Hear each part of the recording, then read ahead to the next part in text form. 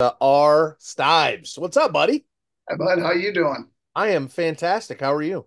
Yeah, yeah, I'm good. I was uh, sick last week. Um, didn't have COVID, but sure felt like COVID. Uh, Uh, yeah, I was uh, I was pretty sick boy. Um, all day Saturday and half the day on Sunday, and all of a sudden the light switch went on, and I was good. So uh, I took Monday kind of easy, uh, but uh, yeah, I'm I'm great. I'm great. I was at church uh, yesterday. We we baptized five, and I think Angola baptized 12.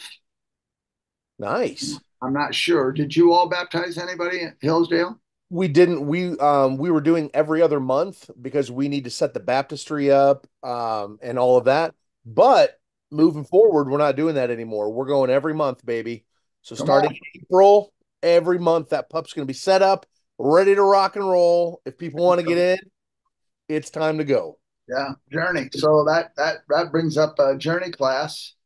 Um, I'm I'm talking to people about getting into Journey. Uh, we we don't require, but we ask that you go through Journey just so that you get a handle on what you're doing and why you're doing why why why baptism answers all those questions.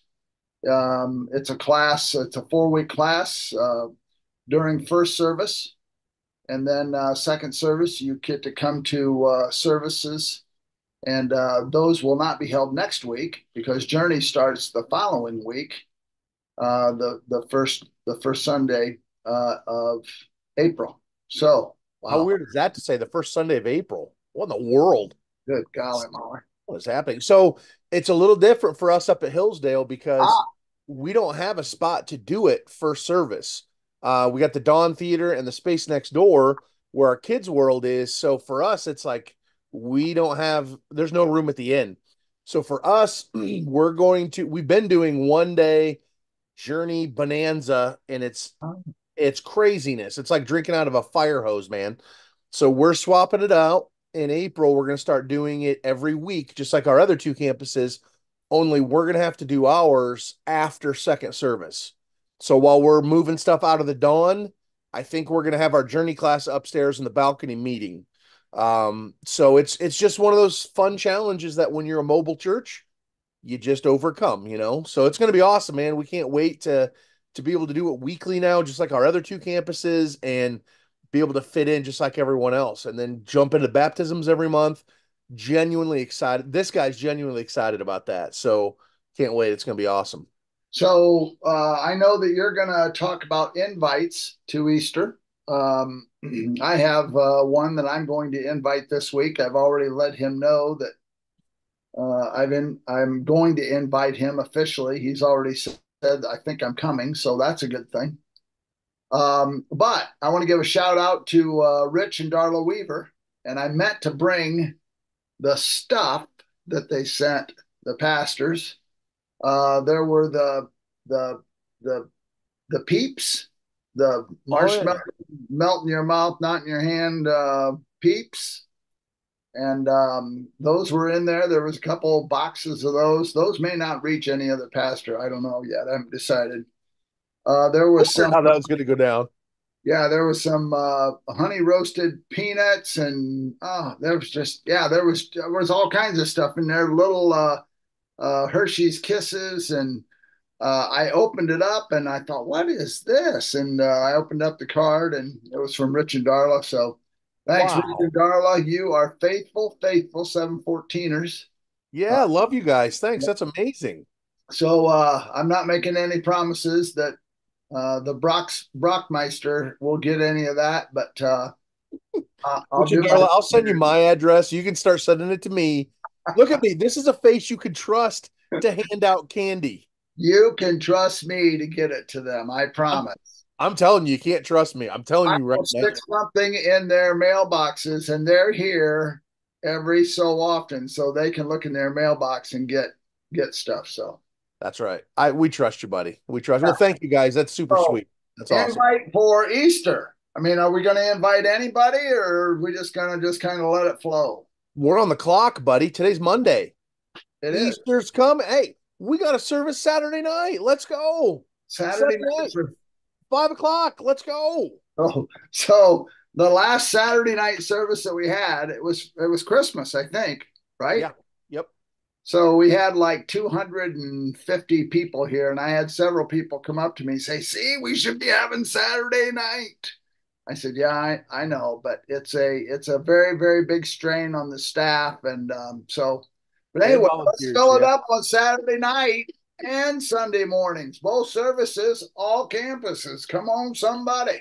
So I told our volunteers yesterday at church, we did our huddle, all three of our campuses. If you don't know this, if you don't serve at Life Changing, all like our our volunteers every single Sunday do a huddle together before church and we just share some vision and we get pumped up. We say, let's go, it's go time. And I shared at our huddle, you know, a month ago, we all came up with a name of who we were going to be inviting. And Pastor Brock did the same thing as everybody else in that mix. I came up with two names father and a son that I love very much. And I reached out to them last week. and then after I reached out to them, I thought, well, wait a minute, what about what about so and so? So I reached out to them too. And then I was like, wait a minute, what about so and so? So at this point, Pastor Rick, I, I got five on my tally. I got five on my tally board over here. So uh just saying it's not a competition because it's really not. Other than I want to make I want to make heaven crowded. I want to have I want to have standing room only at Life Changing Church, all three campuses. And I told our Hillsdale people yesterday, and I'm telling all of our life changers, listen to this. Listen, don't invite your church friends. If your friends and family go to that church or that church, let them go to their church. Man. Tell them to invite people to their church as well. Yes. We want to fill up any any church that proclaims the name of Jesus we want to fill every one of those pups up on Easter, every single one of them with people that don't know Jesus. So, man, get other people around you hyped. Maybe you have, maybe Pastor Rick has a group of old guys that meet for coffee in the mornings and oh, grumble about gas, bro, gas prices, ah, oh, mama. Maybe Pastor Rick walks in and goes, "Hey, how many inviting to church this Sunday? Let's go. I'll I'll I'll challenge you. Let's go.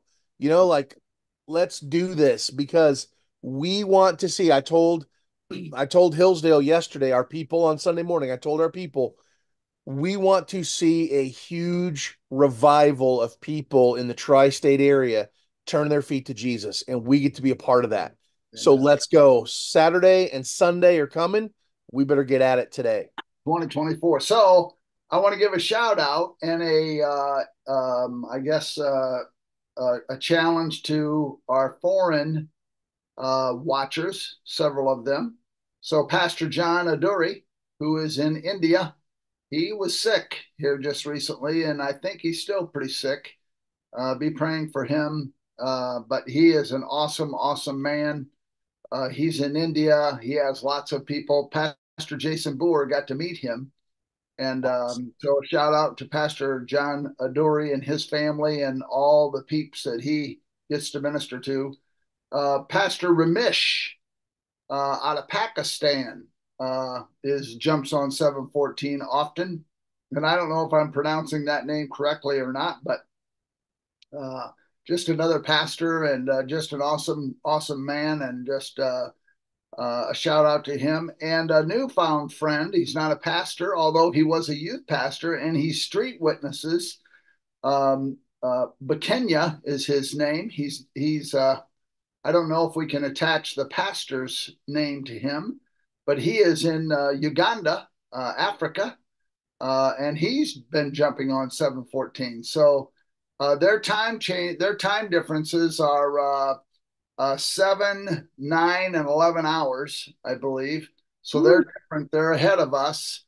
but a shout out to each of them and um, just hoping and praying that their their houses are filled uh, with people who want to know Jesus. So we're spreading the word all across the world. It's uh, it's awesome, and these guys are jumping on 714, listening to two crazy pastors talk about the word, about the truth, and uh, what what we think about it, and uh, reading between the lines. And uh, today is no different. So we're gonna we're gonna get into uh, this is Easter week, so we're jumping away from uh, Hebrews, and we're jumping into Luke chapter 22, if you want to get ready. Luke chapter 22, verses 39 through 53. And I believe Brock's going to be uh, reading, and uh, we're going to we're going to see what the Lord has to say to us about this, and uh, um, we're going to lead right up to uh, the crucifixion and uh, the resurrection, and uh, yeah, life and death and life again. So uh, this is the God that we serve. This is our Savior that we're talking about. So, yeah. Yes, sir. All right, you ready to jump in? I am. Let's do it. Luke chapter 22, uh, just like Pastor Rick said, starting in verse 39. Uh, I'll be reading from the NLT. I'm also using my YouVersion app, so bonus points for anybody that's on YouVersion today. Um, bonus points don't get you anything, it's just cool. Uh, so the heading for mine is Jesus prays on the Mount of Olives. Excuse me. Then, accompanied by the disciples, Jesus left the upstairs room and went as usual to the Mount of Olives. There he told them, Pray that you will not give in to temptation. He walked away about a stone's throw and knelt down and prayed, Father, if you are willing, please take this cup of suffering away from me, yet I want your will to be done, not mine. Then an angel from heaven appeared and strengthened him. He prayed more fervently, and he was in such agony of spirit that his sweat fell to the ground like great drops of blood. At last he stood up again and returned to the disciples, only to find them asleep, exhausted from grief. Why are you sleeping? He asked them. Get up and pray so that you will not give in to temptation. Jesus betrayed and arrested. But even as Jesus said this, a crowd approached, led by Judas, one of the 12 disciples. Judas walked over to Jesus to greet him with a kiss. But Jesus said, Judas, would you betray the Son of Man with a kiss? When the other disciples saw what was about to happen, they exclaimed, Lord, should we fight? We brought the swords. And one of them struck at the high priest's slave, slashing off his right ear. But Jesus said, No more of this. And he touched the man's ear and healed him. Then Jesus spoke to the leading priests, the captains of the temple guard, and the elders who had come for him. And by some dangerous revolutionary, he asked, that you come with swords and clubs to arrest me? Why didn't you arrest me in the temple? I was there every day, but this is your moment, the time when the power of darkness reigns. Wow. Wow, wow. Uh end at verse 53, right? Yep. Yep, that's it. Okay. Good it. deal. Good deal. Yeah. So, uh, just a couple things that I'll just kick off with. Uh, some interesting stuff that I found. Um, he says, then he accompanied, accompanied by the disciples in verse 39, Jesus left the up, upstairs room and went as usual to the Mount of Olives. There he told them, pray that you will not give into temptation. Uh, something that I found, which is pretty cool, I think he went to the Mount of Olives as he was accustomed. That, that's what he was accustomed to do. Jesus is, had it said that uh, Jesus had spent his night there nights there during the week You'll find that in Luke 21 uh, 37. And he refused, Jesus refused to change this routine. Now, I, and I wondered why, so why, why is that? And um, I mean, he knew why he came. He knew that he was going to be a sacrifice. He knew that it was inevitable unless he chose to go, nope, I'm not doing this but he knew what he was doing and uh, he knew what he had to do. And he kept the same routine, even though it meant Judas would easily find him. Jesus had a purpose and he knew what it was and he was going to follow through with it, even though he knew the agony ahead of him. So um, Judas could have changed his his course, his his mind, but he chose to go through with that. And uh, the evil part of, of Satan uh, influenced him to the point of betraying our Lord and Savior. So, just an opening statement for me. What do you got? Um, one of the things that stuck out to me was where, and you pointed it out, it says he went as usual to the Mount of Olives to pray. Um, in your own life, and and Pastor Rick, I'm actually asking you this in your own life, do you have a usual place of prayer, or do you is your style you just kind of pray all over the place just as it hits you, or um, what are your thoughts on that? Yeah, for me, um, uh, a usual place, uh, and it's a and it's a bad. We we've always often said this: don't pray laying down because you'll often go to sleep. Which I enjoy going to sleep as I pray, uh, and I usually remember where I left off. But many many times, uh, I do a lot of traveling in my truck. I do keep my eyes open, and and I pray. I pray as I drive. So uh, or if someone, and I love to do this, I, I don't, maybe you have seen me, not that I'm trying to make a spectacle of it, but there are people who will come to church. I'm in my office right now. I'm pointing out in the atrium area into the auditorium who will say, Hey, I, I need prayer for this, or I need prayer for that. I'm going through this, or I'm going through that. And I said, Well, let's just pray then. Let's pray right now. Oh, yeah. So I'll just huddle around them and uh, we'll just start praying it's a it's a great thing to pray immediate because then you don't forget because I'll pray for you sometimes you forget and I've done that. Oh yeah. So yeah, I don't really have a specific place. It's just wherever, whenever, uh, as the Lord leads.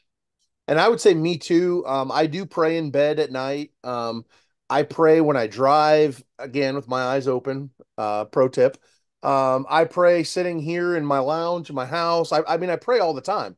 I'll pray on mile marker five on M99 on the way up to Hillsdale. I'll pray at Wendy's eating a salad. Like I'll, I'll pray whenever. But one of my favorite places to pray is outside.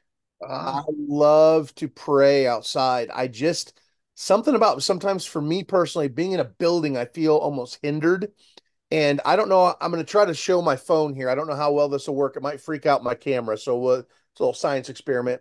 Uh, this is one of my favorite places to pray. Yeah, you can't really see that very well. oh, well. I can see it. It's a blind. Yep, it's it's a shoot house down in Alabama where I go hunting every year. Um, that's one of my favorite things about hunting. Actually, is just being out in the stillness. I can't watch anything on my phone or, or goof around. Uh, you know, I'm not watching a movie or a show because you got to be paying attention.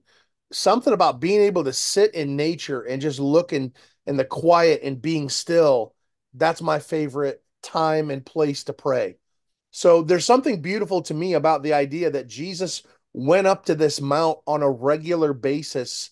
You know, this, hey man, I'm gonna go up to this this area, this refuge, this outdoor spot where I just that's where I go. That's where I love to pray. I could say that my heart kind of aligns with that. I get it. I, I love that. Yeah.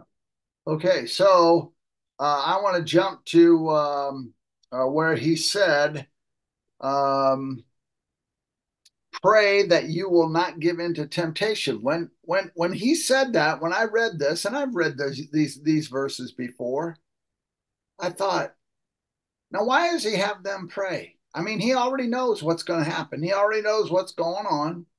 Right. Uh, why is he having them to pray uh, so they won't give in to, to temptation? I'm thinking, what temptation? So I looked into a little bit of that, and um, and I and concluded in my own mind, prayer changes everything. It really, really does. So uh, I want to say this. Um, Prayer will get you through the most difficult situations you find yourself in. Once again, Jesus went through everything that we go through. He's gone through all the emotions, he's gone through all the situations. He he's been he's been through it all. There isn't anything that we have done or experienced that uh, we've given into where he said, "No, I'm not going to sin. I'm, I'm not going to. He, he might, he gave completely different answers than I would have given. Uh, he did not give in. So uh, here he is, he's saying, pray. And, and, and I question why, because prayer makes a difference. I'm telling you, it makes a difference. Now, does that mean everything is going to be just hunky dory, to coin a phrase? No, no, it's not. It's going to be terrible probably at times. But I'm telling you, the power of prayer will get you through. It'll draw you unto Him It'll give you a different perspective. It'll give you a different attitude. Uh, even if the outcome is the same as if you wouldn't have prayed, prayer changes you, is what happens. And are there miracles because of prayer? Absolutely, there are.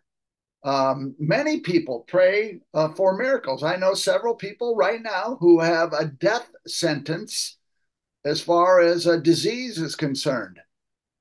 Their family and many, many friends, those who know them, are praying for a miracle that this cancer, that this disease will be thrown out of them and they'll be just fine. So I say to that, that's that's not bad. That's not bad to pray that. Is God going to answer that? Yes, he is. And it may be I you know, it's your time. It's your time to come home. It's your time to stay a while longer. I don't know what the answer to that is, but yeah. I'm telling you prayer is powerful and it's a good thing. Always a good thing. Absolutely. And to me, I, I always was, excuse me, kind of fascinated with the scripture, pray that you will not give into temptation. And I'm like, what's he talking about here? Like, what temptation is he, is he referring to?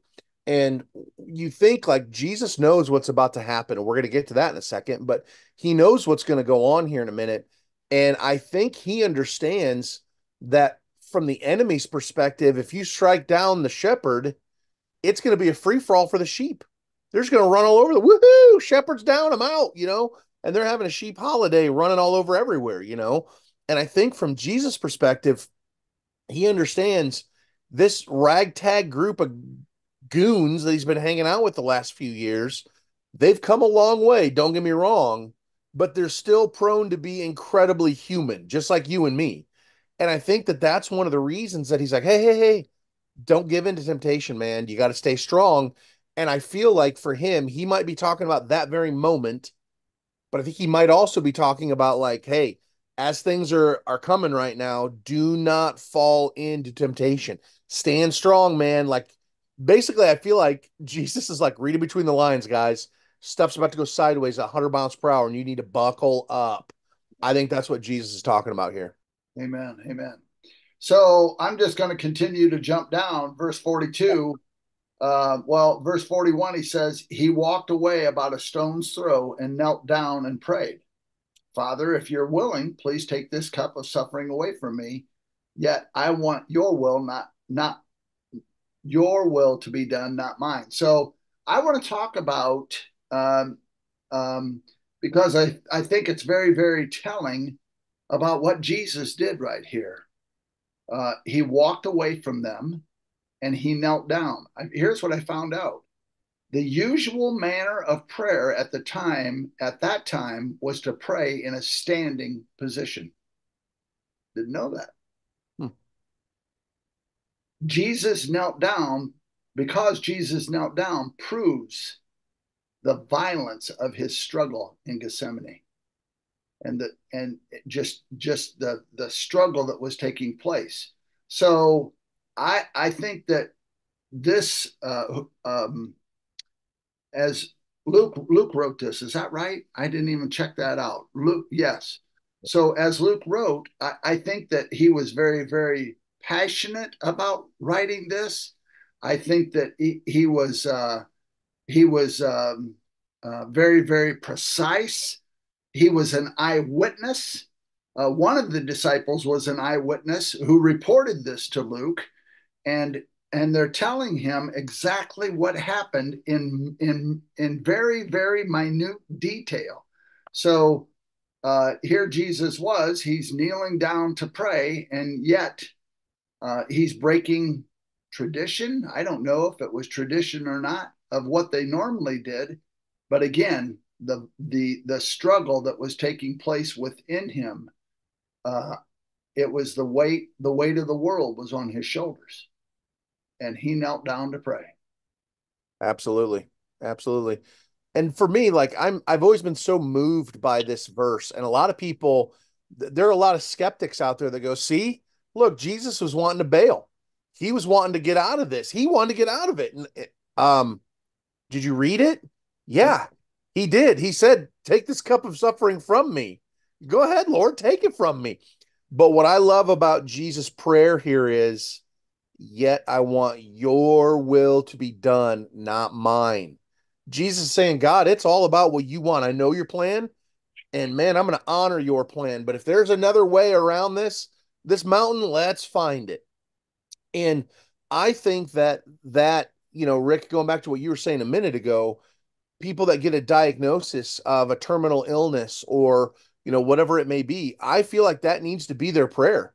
Hey, Lord, if my time is very, very limited here, I'll, I'll drink from that cup. But if I have more time, that'd be that'd be pretty dope too. But regardless of what it is, you got 15 minutes left on earth or 15 years, regardless of what it is, we need to be all about doing the will of the Father, just like Jesus was. Because that's what I so love about Jesus. Jesus was like, man, I'm, I'm God's boy. Whatever he wants, I'm in. Let's go. And that needs to be our prayer, even when it's disappointing, even when we don't like the answer, even when it really, like, literally brings the end of our life. We we we want to honor God just like Jesus did. So such a such a beautiful, simplistic prayer in my mind. Yeah. So these these couple of verses right here in 41 through uh, to 46. Uh, I want to read this. I found this. This is I think this is so good. And, and I don't want to mess it up as I as I read it. Jesus willingly resolved to lay down his life. We know that. The cup did not represent death, but judgment. Jesus was unafraid of death. He was unafraid of death. Jesus became, as it were, an enemy of God who was judged and forced to drink the cup of the Father's fury so we would not have to drink of that cup. That's what he did for us. Taking this figurative cup was the source of Jesus's greatest agony on the cross. That's that's what he and then he, he went on to say, not my will, but yours be done. It's not about me. It's all about you, Lord. It's all about you. It's all about these people. And uh, what did he say? Forgive them, for they know not what they do. Uh, he still loved them, though they were spitting on him. They were, I mean, they were the, the, all the things that had taken place with him. I mean, if anybody had a reason to hate, if anybody had a reason to have revenge in their heart, Jesus did. Yet he did not. He did not. He had nothing but love in his heart. He knew why he came and he fulfilled that promise, which is so wow. That, that is so wow. So at, at any time in all of this, Jesus could have turned into John Wick with the slick back hair and the all black suit and went all buck wild on everybody. Cutting off ears? Nope. I go more savage than that. Yeah. Jesus could have done that at any moment, but he chose not to. And I think that's what we got to focus on. He chose not to. It was a decision. He decided to be faithful. And there's there's a couple other places in the New Testament where Jesus is like, "Hey, buddy, nobody takes my life. I, I lay it down." And right. you want to talk about the ultimate flex? This is the ultimate flex the guy that had all the power at his fingertips, literally. Yeah. You know, he could have he could have liquefied that whole group that came here in a little bit to get him in the garden. He could have liquefied all of them, literally. They're gone. They're like jello. He could have done that, but he didn't. Yeah. He didn't. He prayed and he said, God, whatever you want, I'm your guy, and I'm going to be faithful, even to the point of being hung on the cross. And I appreciate that. I'm getting a little bit ahead here. The bunny trails are happening, but when you look at crucifixion, it's the most horrific, painful, disgraceful death. Like, I mean, it's horrible. But I guarantee it wasn't the fear of those nails. It wasn't the fear of the humiliation that Jesus was was weary to face. It was the magnitude of bearing the sins of all mankind on his perfect shoulders. Yeah. Like, wow, man, that should move us. That should literally light a fire in your tummy right now, 714ers, to think Jesus did that for me. Jesus did that for you and everybody else. That that person that you don't like at work, Jesus died for them too. You know, like it's just so amazing. Okay, sorry, I'm getting a little ahead. I'm gonna slow. I'm gonna whoop, slow down. slow down. Okay, back to you, buddy. All right. So I I just want to make one more thing before we jump into uh, 47. Uh, one more. So I talked about Jesus knelt down to pray because the weight of the world was on his shoulders. The the the order of the day was to stand and pray. And here in verse 43 it says, Then an angel from heaven appeared and strengthened him. He was weak. He was weak.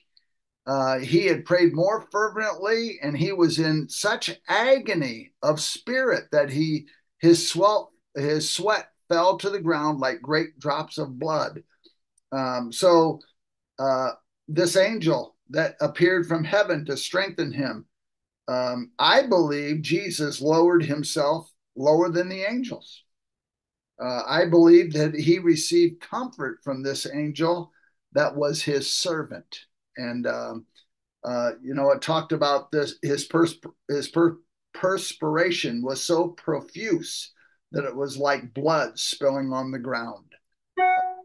Just wow! I'm just, I. It's just hard to imagine. I I guess um, the movie that that we have seen. Um, what's the name of the movie? The Passion of the Christ. Passion of the Christ is probably the closest to the agony of what he went through, and I don't think that holds a candle to it. Um, so no the old the old uh, Charlton Heston movies uh, back in the day, um, I mean, he was barely bloodied, and I believe he was probably so bloody he wasn't even recognizable. Yeah. Um, yep. Of what took place with him. So um, that's what he was coming under. Um, and and in verse 46 it says why you know he came back he said why are you sleeping he asked get up and pray so that you will not give in to temptation once again he's talking about that temptation of of and again i don't know what temptation he's exactly referring to um, but um, the master is speaking and um, they weren't listening well at this point well, our merry band of idiots decided to take a nap. Like, what are you doing, man? He said, keep watch, stay vigilant. You know, pay attention, hey, boys, pay attention here. But just like you and I would have, we're we're human. We get distracted. They fell asleep, and yeah. Jesus like, hey, get up and pray. I've always thought verse forty three is interesting. By the way, an angel appeared and strengthened. What is that? Strengthened him. Yeah. Like, did, the, did an angel come down and go, here, drink this Jack Black Rifle espresso drink and let's go. And Jesus is like, woo! I don't, I don't think so. I don't think that's the route on that one. No. Um, but when you think about it, like, again, I think it's so cool remembering Jesus is fully God, yet fully man, and this angel comes to strengthen him. I don't know what that looks like. Maybe, maybe the angel's like, hey, buddy, l- let me pray with you. Maybe the angel, like, hey, high five, you got this. Let's go. I, I don't know what that looks like. But how beautiful is it that an angel comes to him, strengthens him, and it says in 44, he prayed more fervently.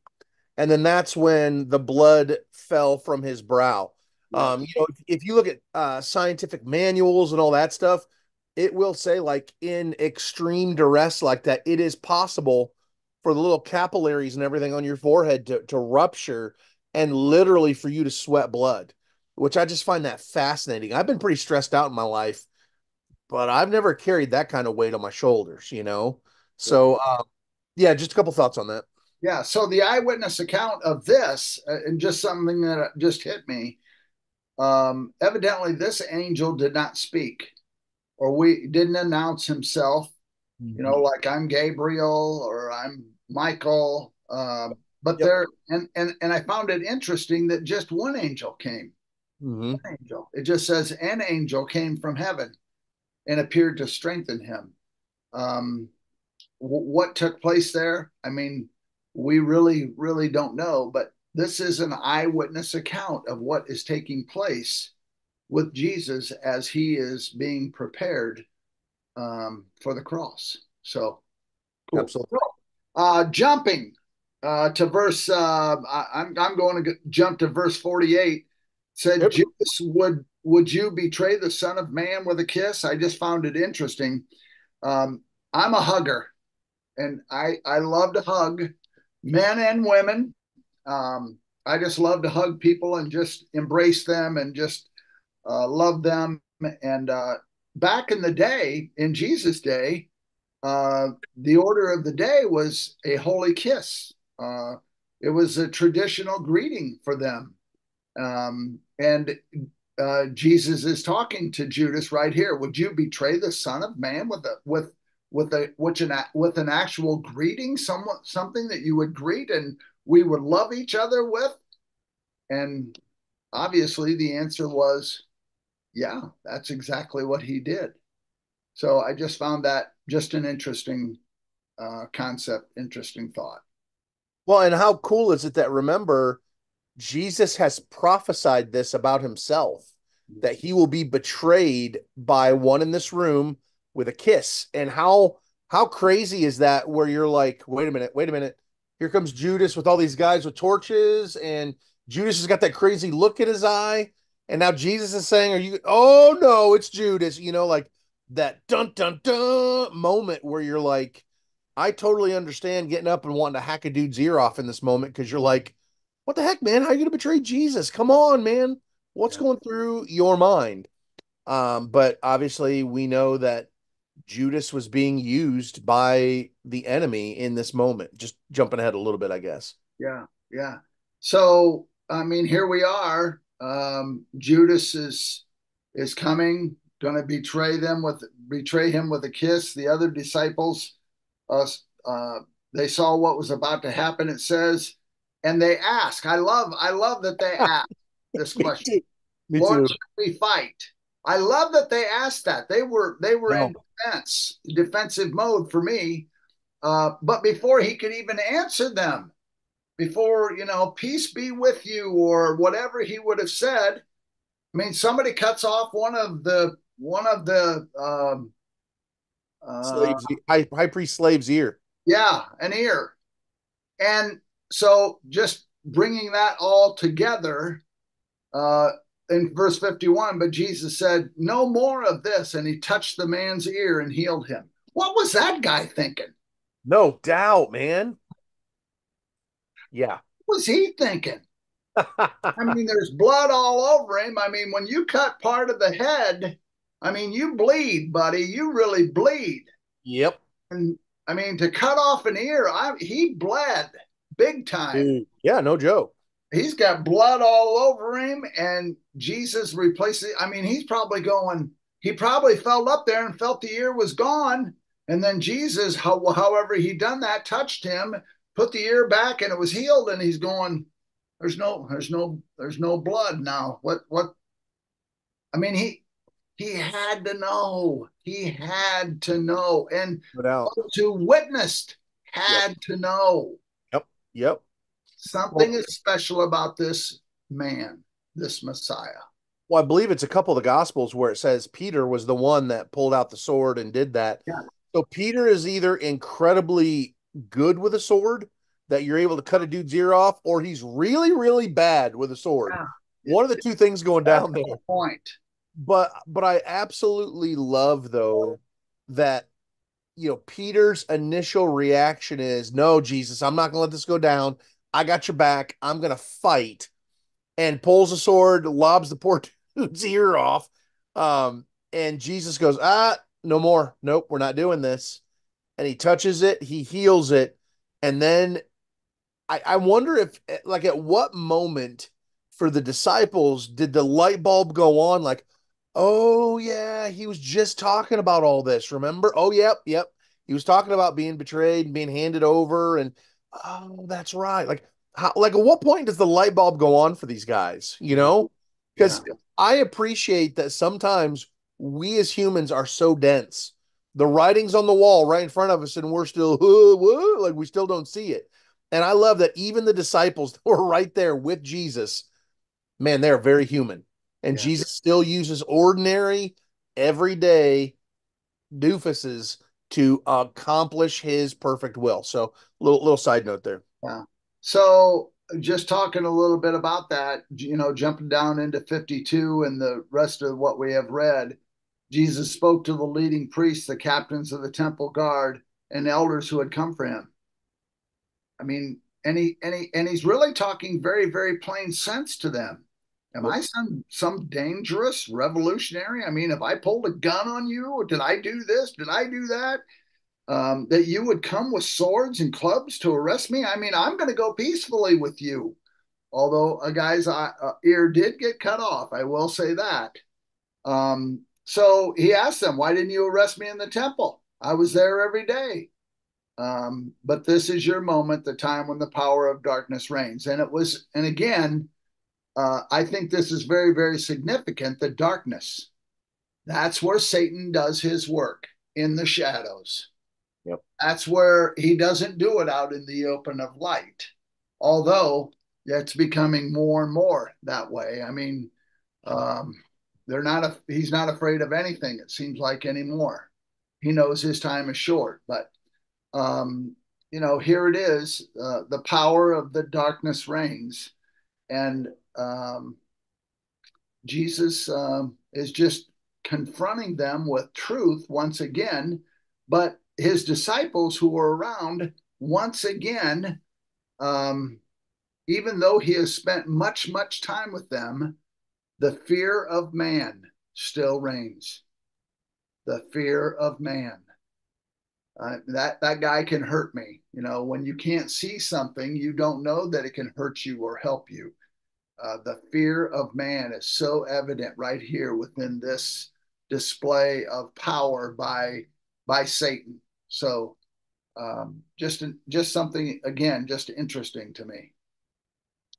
Yeah, and to me, I just I, I read this account and a it breaks my heart that Jesus had to endure that. I mean, you think of anybody um, that you know this this perfect guy that lived this perfect life um, that had to go through this. It's just terrible. But um, you think about though, like just his faithfulness and his willingness just to love, and even he didn't have to fix the dude's ear. Like think about that for a second too. He could have just left the ear on the ground and been like, "All right, let's go do this. We got to do what we got to do."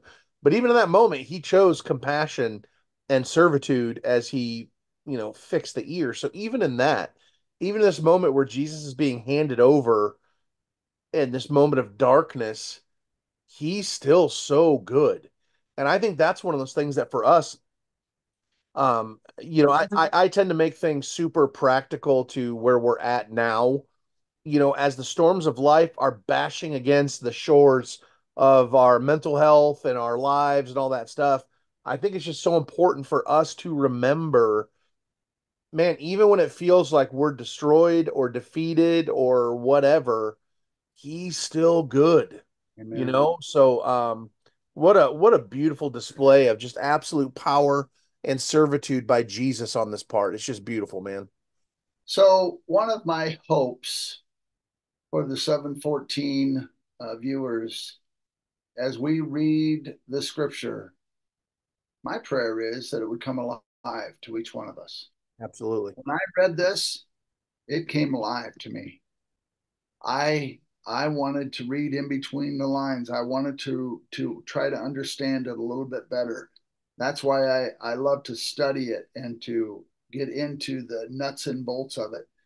I want to know how Jesus felt. I want to know how Peter felt. I want to know how this guard felt when his ear fell to the ground. Um, all those things. And, and again, I want to know how the disciples felt, uh, the fear that was in them, even though the King of Kings was standing right there in their midst, they had fear. Uh, that will be no more when he comes back. Absolutely. He's not coming back as a lamb, he's coming back as a lion this time. Absolutely. coming back to reign and reign uh, perfectly uh, and to claim his own, which um, a, a week from now, because I had forgotten that we were going to do uh, the Easter week uh, in in Luke, and I read ahead in Hebrews. He, we're going to go back to Hebrews eight after the Easter uh, weekend throughout all this week. Hebrews eight is an amazing, amazing chapter. Uh, I can't wait to discuss it um, because it has has given me some freedom. So you might want to read ahead to Hebrews 8 But uh, for today, thank you for allowing us to share Luke 22 with you. And uh, we'll be back tomorrow to uh, continue to share, uh, leading all the way up to uh, his crucifixion, uh, his death, his burial, and his resurrection, sitting on the right hand of God the Father. There, I gave it all away right there. Spoiler alert. I love it, man. I love it. Hey, you want me to pray us out? Yes, would you? That'd be awesome. Come on, let's do it. God, thank you so much for your word, man. It's just so amazing to be able to read this account of what happened. And it's so amazing that Jesus laid his life for us and for so many others. So, Lord, I ask that during this season, particularly, but every day, God, that we are mindful of how good you are and what you sent for us in your Son. Uh, God, help us um, this week to be bold and yet humble to invite people to church. And even if somebody says, hey, life changing church isn't my thing, that's okay. Go to another church. We can invite other people to other churches this Easter season because, God, we're working for you. We are trying to build up that kingdom, not just build castles. Uh, so, Lord, help us, make us bold in you. And uh, Father, just bless our 714ers. Let them have an amazing Monday and get after it today. It's in Jesus' name we pray. Amen. Amen. Amen. So I don't know if we uh, concluded uh, the baptisms, but I think we probably had 19 or 20 that uh, was baptized. Um, maybe it was only 17.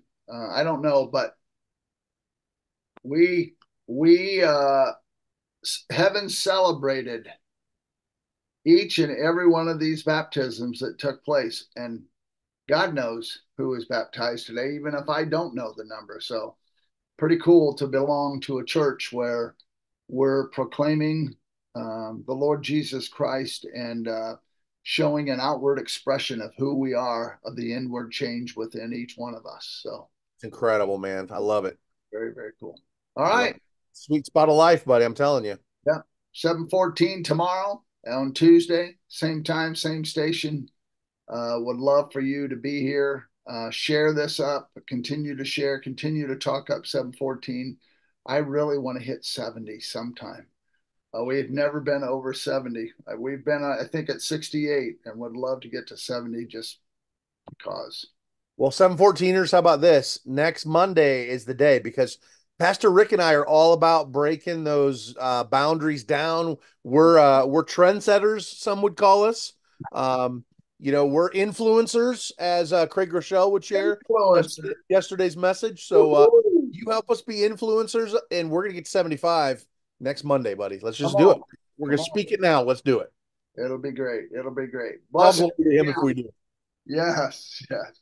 Blessings. Have a great, great week and happy Easter to each of you.